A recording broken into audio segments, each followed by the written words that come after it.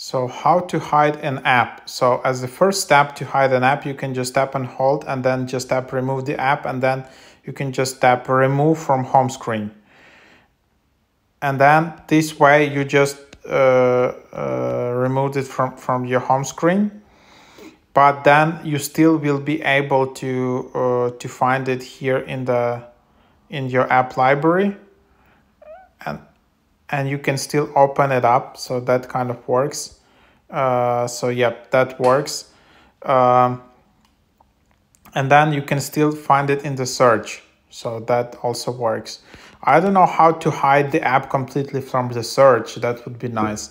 Or just you know completely find it in the app library that also interesting option but uh, that's just what uh, what it is right now uh, if you have any other suggestions how to hide app even more on your iPhone would be really helpful.